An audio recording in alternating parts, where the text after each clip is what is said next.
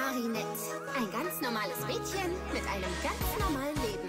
Aber es gibt etwas, das niemand über mich weiß. Ich habe nämlich ein Geheimnis. Ich bin Ladybug, bringe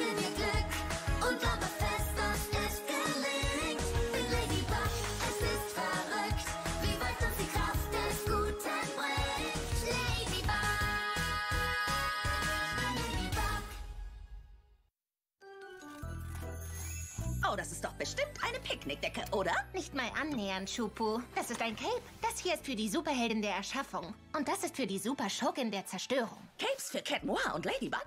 Nein, sie sind für einen Film. Diese Fantasiegeschichten, die sie im Fernsehen zeigen. Wirst du dann berühmt? Nein, ich bin die Kostümbildnerin. Ich spiele nicht mit. Aber wir kommen in die Nachrichten. Ich komme zu spät.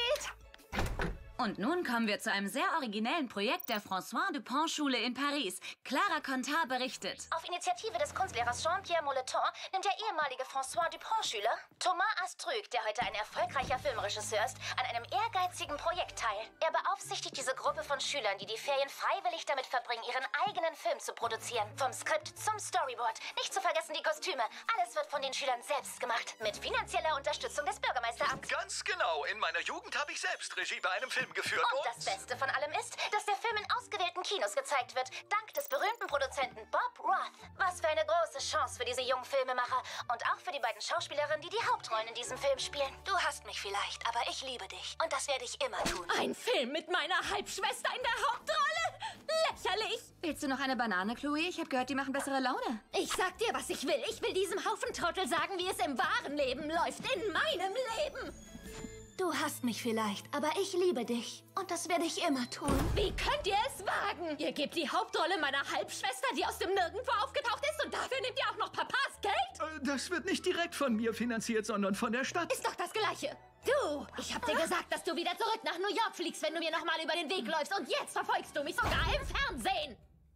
Lass dich von deiner Schwester nicht schikanieren, Zoe. Du bist für die Rolle gemacht. Du hast sie verdient. Stimmt, und wir treffen uns morgen mit dem Produzenten. Es ist also zu spät, um noch irgendwas zu ändern. Darf ich dich daran erinnern, dass dir wie allen anderen Schülern angeboten wurde, an dem Film mitzuwirken? Aber du hast abgelehnt, weil, und ich zitiere, Milens Pullover ist hässlich, Nat malt wie ein Zweijähriger, Alja ist nutzlos und Marinette ist lächerlich. Äußerst lächerlich. Das hab ich gesagt? Nur unhöflicher. Tja, ich sehe das immer noch genauso. Aber wenn dieser alberne Film tatsächlich in Kinos veröffentlicht wird und jemanden zum Star macht, sollte dieser jemand ich sein. Also, ich krieg die Rolle, die meine Halbschwester spielt, denn alles, was sie besitzt, gehört mir. Banane, Chloe? Keine Sorge, Kinder. Ich rede mit ihr. Morgen wird alles gut laufen. Und hier ist das Büro des Produzenten Bob Roth. Überraschung! Chloe, was machst du hier? Mein alter Freund André meinte, ihr habt nichts dagegen, das Drehbuch ein wenig zu ändern, damit seine Tochter mitspielen kann. Aber das ist unmöglich. Wir haben uns schon auf alles vorbereitet. Filme machen ist die Kunst der Kompromisse. Zum Schutz seiner eigenen, ich meine, der Interessen des Films muss man flexibel sein. Deswegen wird Andrés Tochter die Hauptrolle spielen. Das ist nicht im Interesse des Films. Zoe ist perfekt für die Rolle der Superheldin der Erschaffung. Der nächste Flug nach New York geht in 30 Minuten. Marinette, es macht nichts, wenn ich nicht die Hauptrolle spiele. Es gibt noch viele freie Positionen in unserer Crew. Perfekt, solange sie nicht im Film auftaucht, bin ich einverstanden. Dann haben wir einen Deal. Wir sehen uns morgen früh am Set.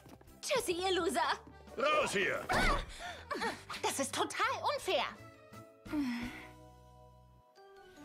Weißt du, ich habe in meiner Jugend auch mal einen Film gedreht. Er hieß Einsamkeit. Papa, ich versuche mich hier zu konzentrieren. Natürlich. Entschuldige, Schatz. Und du, Dupin Cheng, hör mit diesem schrecklichen Kostüm auf. Schlimmer geht's nicht. Deswegen passt es auch so gut zu dir, Chloe. In dieser Szene wurde die gesamte Bevölkerung in einen Schlaf versetzt. Deswegen brauchen wir jede Menge Extras. Ihr legt euch da auf den Boden. Perfekt. Hey, ich habe gerade erfahren, dass ich die Superschurkin der Zerstörung spielen soll. Und Milan ist die Superheldin der Erschaffung. Soll das ein Witz sein? Ich krieg die Hauptrolle, ich bin die Gute, klar? Chloe, beide Rollen sind genau gleich wichtig. Bla bla bla, ist mir egal. Ich spiele die Gute. Wir haben keine Zeit für all die Änderungen, Chloe. Ach nein. Wisst ihr, es ist nicht ungewöhnlich, dass man das Drehbuch in letzter Sekunde aus Produktionsgründen umschreiben muss. Das nennt man Blödsinn, verschwendete Zeit, das Aufgeben seiner Träume. Neufassung. Es ist alles im Interesse des Films. Szene 9, Take 1, Action. Chloe, wir warten auf deinen Einsatz. Einfallslos, langweilig, öde. Wir brauchen einen Superheldenfilm mit einer echten Superheldin in der Hauptrolle. Hey, was ist schwarz und gelb, hat schöne blonde Haare, zieht die Blicke auf sich und sorgt für einen absoluten Kassenknüller. Du redest doch nicht von dir als Queen Bee, denn die meiste Zeit warst du eher eine Superkatastrophe als eine Superheldin. Ah, ich dachte natürlich nicht an Queen Bee, ich dachte an einen viel originelleren Charakter. Queen, ähm, Queen Banana. Queen was?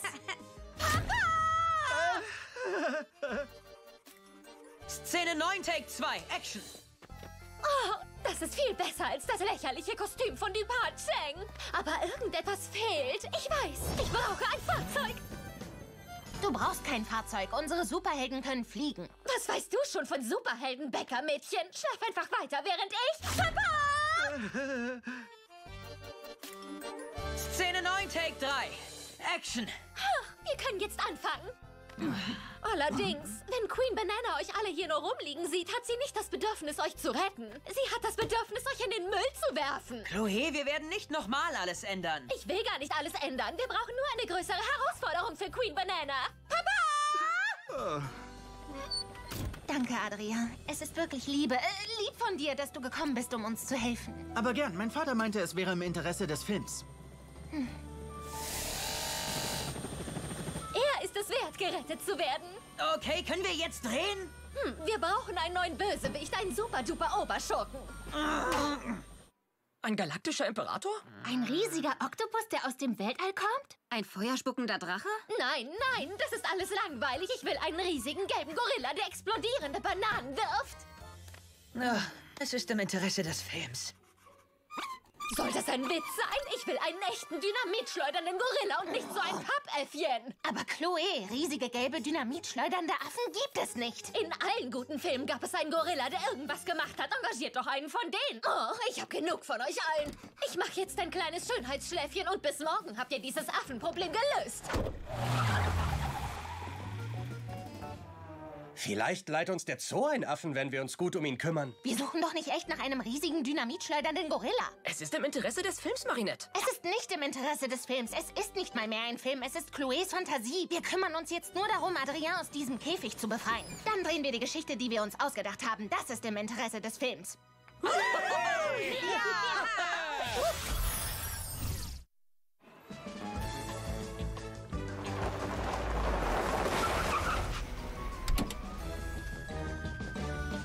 Wo ist mein riesiger Gorilla? Wo sind die anderen? Wieso ist niemand hier, um meine große Szene zu drehen? Sie haben alles gestern Abend gedreht. Wahrscheinlich sind Sie gerade im Kino und zeigen den Film.